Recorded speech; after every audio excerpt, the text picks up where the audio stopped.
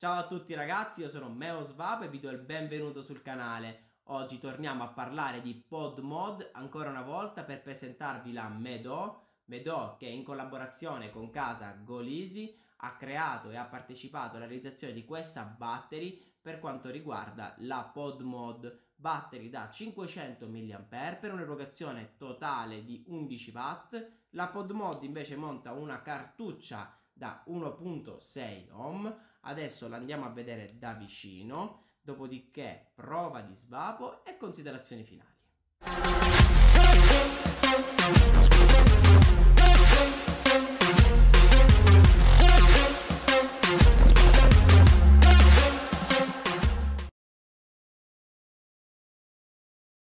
Allora andiamo a vedere subito la confezione della Medo. Troviamo la parte frontale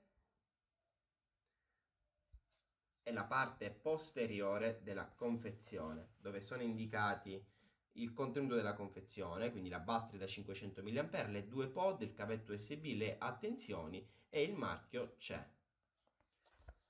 Abbiamo manuale di uso e manutenzione con le colorazioni della Medo e poi da vicino vedremo la cartuccia, cartuccia che è da 2 ml, quindi la pod all'interno può contenere un massimo di 2 ml di liquido con una coil da 1.6 ohm che vedrete bene all'interno.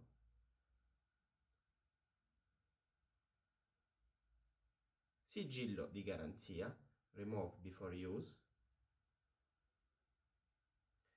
e la battery Medo 500 mAh con un wattaggio di 11 watt in uscita a batteria carica. Le incisioni Made in China, marchio CE e Battery Manufactured by Golisi. Adesso andiamo a inserire la nostra pod e vedrete che una volta che andrete a tirare si colorerà del led verde. Per quanto riguarda il refill vedete che è molto piccolo il foro del, della pod. Andiamo ad aprirlo. E da qui vi servirà un flaconcino a punta fina. 2 ml di liquido di capienza. Detto questo inseriamo il pod sulla battery e l'andiamo a provare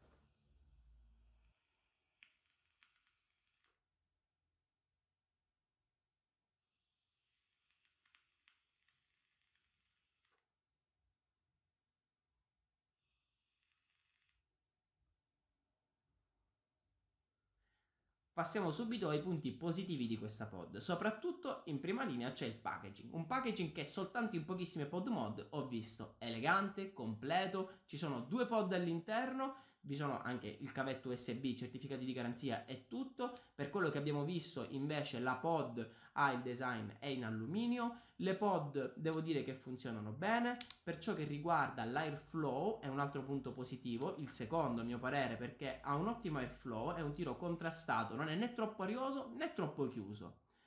Per quello che riguarda la battery, il nome è Golisi sulla pod mod. Quando io leggo Golisi, per me io mi sarei aspettato qualcosa di più, anche perché in un mondo dove abbiamo pod mod a non finire, se non troviamo qualcosa di particolare e diverso nel mercato, non andiamo avanti. E ora che Golisi presenti un prodotto del genere, per me è stato un punto un po' strano e non a favore. Detto questo, qual è il punto negativo? Sicuramente una batteria da 500 mAh su una pod che mi eroga 11 watt mi sono sembrati un po' pochini, soprattutto per la coil che monta la pod. 11 watt mi sarei aspettato qualcosa come 13-14 watt magari una batteria da 650 mAh, sicuramente la pod avrebbe funzionato meglio. Per quello che riguarda invece il sistema di alimentazione, quindi collegamento tra battery e pod, troviamo che il tiro, se non è un tiro deciso, la pod non alimenta. E vi faccio vedere. Questo è un tiro normale. Guardate.